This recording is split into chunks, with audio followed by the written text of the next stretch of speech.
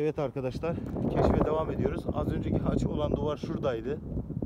Burada yine bir duvar daha var. Bunu da gösteririm size. Bu duvarda da bir işaretler var. Şöyle yaklaşayım.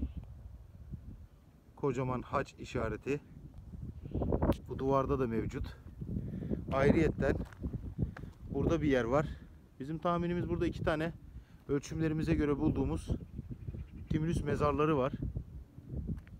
Bir yandan da buraya çok büyük bir kazı çalışması yapılmış.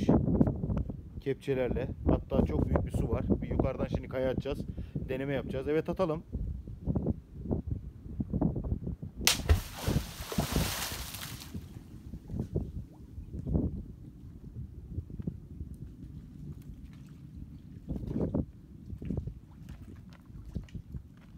Çok derin bir su. Bayağı derin, bayağı büyük bir yer. Keşfetmeye devam ediyoruz. Yeni yeni harika yerler bulduk. Tekrardan hepinize iyi günler diliyoruz.